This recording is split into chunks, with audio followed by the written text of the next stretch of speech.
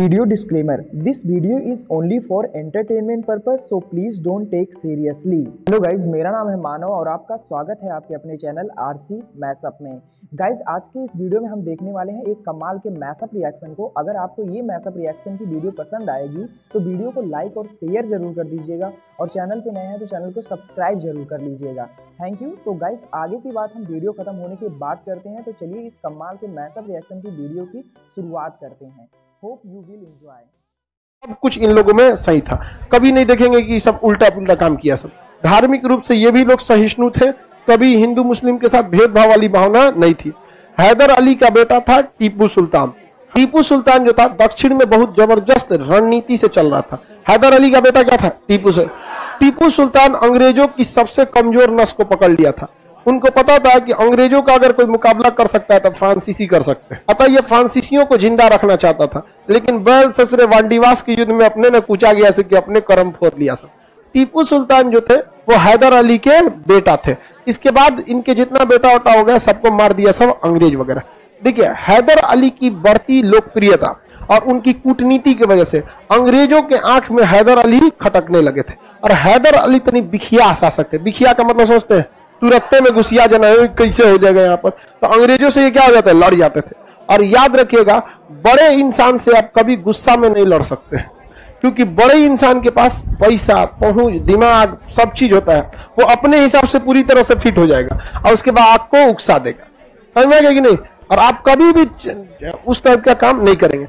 China ने corona फैलाया, अपने वैक्सीन बना लिया, कोरोना को कंट्रोल कर लिया। जब भारत में कोरोना पीक पे था तो गलवान घाटी में घुस गया।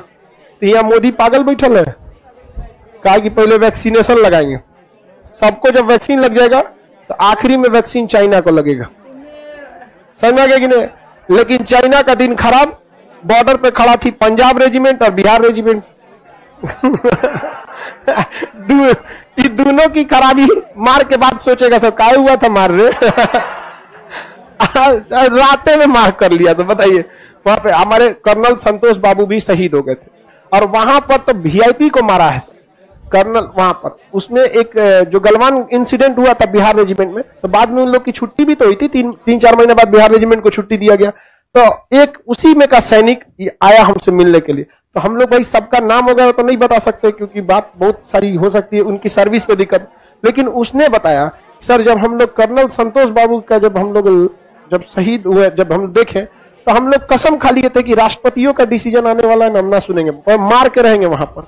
और कहता है कि सर लाश जो हम लोग मारे हैं ना, हम लोग गिने हैं लोग लगभग डेढ़ सौ लाश तो चाइना झूठ बोल रहा है, छप्पन गो लाश है। हम लोग गिने हैं लोग डेढ़ सौ को।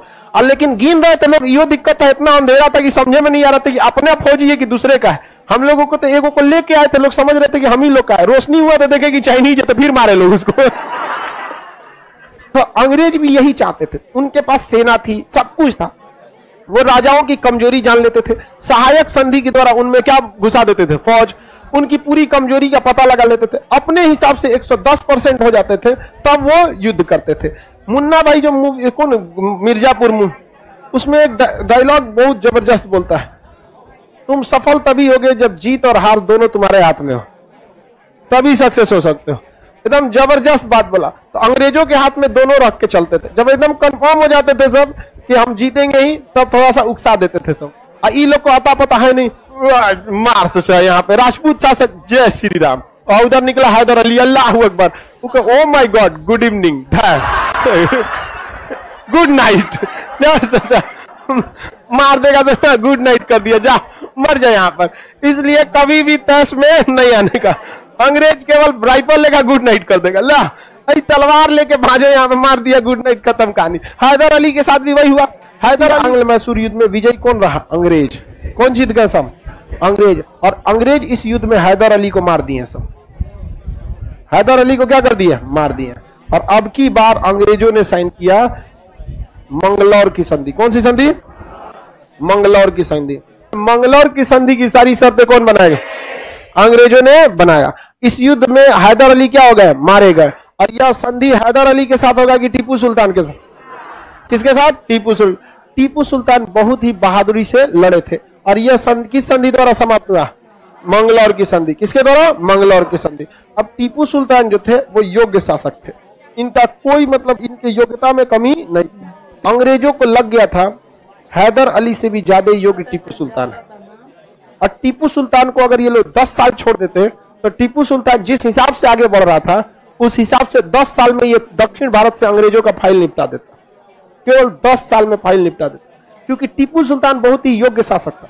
मैसूर में शंकराचार्य ने हिंदू धर्म का बहुत बड़ा मठ स्थापित किया था, सिंगेरी पीठ। इसने अपने पैसा से सिंगेरी पीठ का दोबारा निर्माण कराया, जो टूट गया था। अपनी अंगूठी पर इसके राम लिखा हुआ था। इसने हिंदू मुस्लिम के साथ कोई भेदभाव नहीं किया। इसलिए इसकी जनता का अटूट विश्वास किसके साथ था? हैदर, टीपू सुल्तान और हैदर अली दोनों के साथ था। लेकिन टीपू सुल्तान के साथ ज़्यादा था। अब तो हम यहाँ पर अजीब वाले टीपू सुल्तान ने राम नाम की अंगूठी पहन ली। तो क्या वो हिंदू, मुसलमान से हिंदू हो गया? और कौन सा हिंदू लोगों को चाँद पे पहुँचा दिया? लेकिन एक होता है ना, दूसरे की हम किस हद तक रिस्पेक्ट करते हैं? तो जनता का लगाव टीपू सुल्तान से बहुत बेहतर था वहाँ पर। टीपू सुल्तान को अंग्रेज़ जान गए थे इसलिए अंग्रेज़ टीपू सुल्तान से लड़ने के हर हाल में थे सब अंग्रेज़ ब्रिटिश ईस्ट इंडिया कंपनी से जो आए थे लोग यहाँ पर, उन्होंने अपनी फाइनल रिपोर्ट लगाई कि 10 साल तक टीपू सुल्तान को छोड़ने का मतलब सोसाइट बैग को बड़ा करना है। बर्बाद हो जाएँगे हम लोग। इसलिए टीपू सुल्तान को उकसाया गया और यहीं पर टीपू सुल्तान से गलती हो गई। उनको लगा कि फ्रांसीसी हमारा साथ देंगे, जबकि फ्रांसीसी पहले के पिटा के बैठे थे फ्रांसीसी ने उतना साथ नहीं दिया। तो इसी को देखकर टीपू सुल्तान से अंग्रेज़ छोटे छोटे बात पर क्या करने लगे? उलझने लगे और पता करने लगे कि टीपू सुल्तान की कमज़ोरी क्या क्या चीज़ें हैं। जिस जिस चीज़ पे वो ज़्यादा अगर वहाँ पर हम पिंच करेंगे तो लड़ाई कर लेगा। टीपू सुल्तान अपने विश्वसनीय लोगों को कुछ बता दिए थे। ज़िंदगी में कभी कोई सीक्रेट बात हो तो अपने करीबी दोस्त को भी मत बनाइएगा क्योंकि उस करीबी का भी कोई ना कोई करीबी होता है। और धीरे धीरे ये खत्म हो जाता है। तो लाइफ में बहुत सारी ऐसी चीज़ रखिए जो आपके सिवा कुछ कोई नहीं जानता। है समझ में बहुत सारी ऐसी चीज़ें होनी चाहिए। अभी आप लोग विद्यार्थी जीवन में, अभी आपके पास ऐसी कोई चीज़ नहीं है। लेकिन लाइफ में, जब आपकी लाइफ शुरू हो गई अभी तो आपकी लाइफ थोड़ी अभी तो आप लोग मतलब पर्सनल ज़िंदगी तो है नहीं। मम्मी, पापा पैसा भेजे या जब सक्सेस हो जाएँगे तब। ऐसा गड़बड़ कभी किसी काम से नहीं कीजिएगा। एक लड़के का ऐसे नौकरी चल गया। बिहार का ही था। तू लड़की लोग को समझ आ रहा है? तू लोग तो और ध्यान से रखियो लोग। यहाँ पे लड़की से कौन बात कर दोगे तो ये तो ये कोनों से नहीं छुपाती है सब। बकलोल होती है साफ़ एकदम। कहेगा ये बात नहीं बताना तो सहेली से कह जानती हो ऐसा ऐसा बात है किसी से बताना नहीं। पूरा हॉस्टल बता देगी कहेगी किसी से बताना नहीं। तो काज ने कहा होता है बुद्धि। और बात कहेगी तुम बताई हो तू खड़े कसम खाएगी। हे भगवान तुम्हारी कसम नहीं बताए मत। आप यूपी बिहार झारखंड का एरिया छोड़ देंगे ना तो बाकी के जगहों पे जो भी पर्सनली रिलेशन या बिज़नेस रिलेशन कुछ भी होता है, उसमें छल कपट उतना नहीं देखने को मिलता है। यहाँ यूपी बिहार में बहुत है। किसी को उंगली पकड़ के उठाइएगा ना तो उठते गटे ही दबा देगा। अब अजीब अजीब वहाँ पे बहुत देखे, राजस्थान में हम देखे कई लोगों का, जो किताब वगैरह छपती है ना, कि मेरा तो राजस्थान से जयपुर से किताब छपा, इतना सस्ता किताब छपा। उन लोग में देखे, एक आदमी आया था किताब लेने का मतलब पचास पचास साठ लाख का बिज़नेस था उन लोग का तो पब्लिकेशन मतलब बिना किसी स्टेम पेपर पे से कागज़ पे लिख के करोड़ों का बिज़नेस कर लिया। हम यहाँ आओ ना बिहार में। कहेंगे ससुरा करोड़ रुपया ले ले हैं, दस लाख में तो ये मरवाइए देंगे एक नब्बे लाख हमरे हो जाएगा। जो सुना जो होता रहा। आंग्ल मैसूर युद्ध। इस युद्ध को किसने उकसाया? अंग्रेज़। और फंस गए कौन? टीपू। अभी स्टार्टिंग फ़ेज़ में थे। अभी स्टार्टिंग फ़ेज़ जो अंग्रेज़ ने तृतीय आंग्ल मैसूर युद्ध में किया 110 परसेंट वही काम चाइना अभी भारत से कर रहा है। ओकरा का ज़रूरत है गलवान में अजुरीला बिना का ज़रूरत है कोनो मैटर पे खुदला बिना लेकिन वो उकसा रहा है। और अगर भारत 2040 से पहले कुछ भी गलती किया तो कंफर्म उसका भी हाल वही हो जाएगा जो टीपू सुल्तान का हुआ था। और भारत 2040 से पहले कोई बड़ा एक्शन नहीं लेगा। क्योंकि हर चीज़ का एक सेचुरेशन पीरियड आता है। हर चीज़ का क्या आता है? सेचुरेशन पे। जैसे हम देखिए, अगर हम किसी मैट्रिक के लड़का से उलझना चाहे, उसको तो मारिए देंगे। क्योंकि उस बेचारे में शक्ति है कितना है। लेकिन हर चीज़ का एक सेचुरेशन पीरियड अगर वो 20 साल वेट करता है तो 20 साल बाद हम बुढ़ौती की ओर चल जाएँगे। और उस समय एकदम उफान पे रहेगा। तब खान साहब नहीं वो। इधर आ इधर आ, इधर याद कर 2021 याद है दिन? 20 सालों से हम जहर का घोट पी रहे थे। समझ आया कि नहीं आ गया? इसलिए इसलिए कभी भी ऐसा गलती नहीं कीजिएगा। समझ में आ गया कि नहीं आ गया, कोई काम जाम नहीं किया। हम लोग के साथ भी हुआ था, हम लोग जब स्टूडेंट लाइफ में थे तो अगल बगल के पड़ोस वाले सोचे सब कि सबको कहीं थाना वाना में फंसा दिया जाए, ई कर दिया जाए। हम लोग बहुत सारा ऐसा चीज़ जहाँ हम लोग की कोई गलती नहीं थी, वहाँ हम लोग दस गो बात सुन के बर्दाश्त किए थे। बहुत ऐसा चीज़, जहर का घोट मतलब एक होता है ना कि मैक्सिमम लेवल की अब उससे हेल जाओगे तो वीर ससुर कुछ कर देंगे हम। लेकिन आदमी बर्दाश्त किया। मम्मी भी समझाती थी, कुछ दिन और बर्दाश्त करना। और अभी तो दूर से नमस्कार करता है। आप हमको भूल गए हैं खान साहब का नहीं भूले बेटा, नहीं भूले। अभी हम कभी नहीं भूल सकते आपको अभी तो हम और वेट कर रहे हैं। अभी और वेट कर रहे हैं। आप रुकिए ना हम आपको। अभी हम यहीं पे आपको नरक दिखाएँगे। इसलिए कभी भी गलती नहीं करना है। जो किसने किया? टीपू सुल्तान ने किया। इस युद्ध में कौन लड़े? टीपू सुल्तान। कौन लड़ा? टीपू सुल्तान।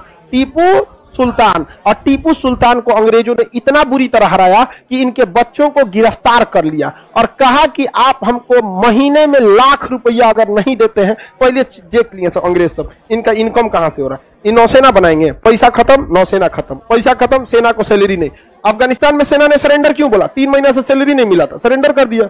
तालिबान वालों को कुछ नोच के लेके चल जाता था। सैलरी का ज़रूरत है नहीं।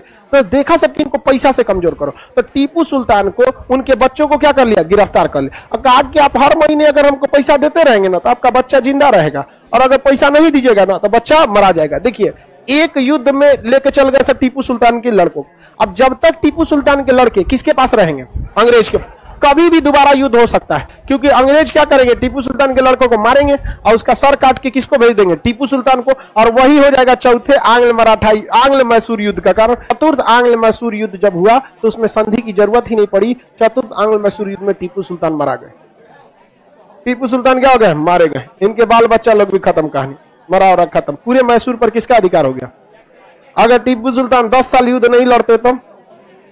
कोई दिक्कत नहीं था। लेकिन वो सब ऐसा टॉर्चर किया सब। याद रखिएगा, हमेशा कभी भी आप सामने वाले को देखिए, वो तैयार तो नहीं है। तब मारिए जब वो तैयार नहीं है। लड़ाई, युद्ध सब अपने डेट के हिसाब से कीजिए। सामने वाले के डेट के हिसाब से थोड़ी ना। समय भी हमारा होगा, जगह भी हमारी होगी, जीत भी हमारा होगा। समझिएगा? बंदूक भी हमारा, सब चीज़ हमारा होना चाहिए। लगता था, यार, ये तो फैल गई है। वो फिर मुझे देखते थे, मैं उसे मैं उसे, उन, हम सबको पता होता था कि हमने तो इसको बताई है तो इसी ने आगे पहुंचाई होगी। तो यही आज की वीडियो में बता रहे हैं कि अपनी बातों को अगर हम अपने तक रखेंगे तो ही महफूज रहेंगे। अगर वो बातें हम अपने से आउट कर देंगे तो हमें आगे काफ़ी ज़्यादा मुश्किल का सामना करना पड़ेगा। लेकिन मैं एक, आपको मैं भी एक मज़े की और पते की बात बताती हूँ। मतलब हम खातन क्या करती हैं, हम अपने राज भी खुद भी नहीं रख सकती। मतलब अगर हमारे साथ कुछ घटना हो जाती है या कोई राज की बात जो सिर्फ़ हमें पता हो ना तो कहते हैं ना पेट में मरोड़ फिरता है कि फटाफट किसी को बता दे फटाफट किसी को बता दे। मतलब खातन अपना राज भी नहीं रख सकती तो वो किसी को क्या राज रखेगी? बता के भी नहीं चैन आता ये ना वो आगे बता दे फिर मेरा क्या होगा? हाई हाय मुझे नहीं बताना चाहिए था। फिर फ़ोन करके गाइज़ आपको यह मैसअप रिएक्शन का वीडियो कैसा लगा? अपने थॉट को नीचे वीडियो के कमेंट में ज़रूर बताइएगा। वीडियो पसंद आई हो तो वीडियो को लाइक ज़रूर कर दीजिएगा। चैनल पे नए हैं तो चैनल को सब्सक्राइब ज़रूर कर लीजिएगा। तो थैंक यू मिलते हैं नेक्स्ट वीडियो में।